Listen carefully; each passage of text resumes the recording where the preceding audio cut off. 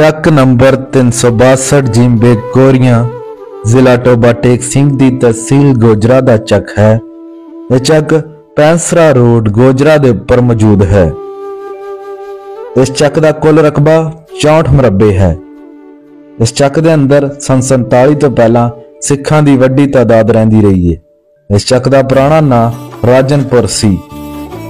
ਇਸ ਚੱਕ ਦੇ ਅੰਦਰ ਦੋ ਲੰਬੜਦਾਰੀਆਂ ਨੇ, ਕਿਉਂਕਿ ਇਹ ਚੱਕ ਕਾਫੀ ਵੱਡਾ ਹੈ ਮੀਆਂ ਅਰਸ਼ਾਦ ਸਾਹਿਬ ਤੇ ਮਨਜ਼ੂਰ ਅਹਿਮਦ ਗੁੱਜਰ ਸਾਹਿਬ ਇਸ ਚੱਕ ਦੇ ਲੰਬੜਦਾਰ ਨੇ। ਇਸ ਚੱਕ ਦੇ ਅੰਦਰ ਜ਼ਿਆਦਾਤਰ ਸੈਯਦ ਬਰਾਦਰੀ ਤੇ ਗੁੱਜਰ ਬਰਾਦਰੀ ਆਬਾਦ ਨੇ।